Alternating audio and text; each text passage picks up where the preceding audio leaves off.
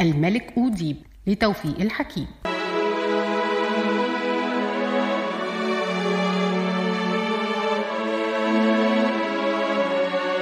إن أقوى خصم للإنسان دائما هو شبح. شبح يطلق عليه اسم الحقيقة.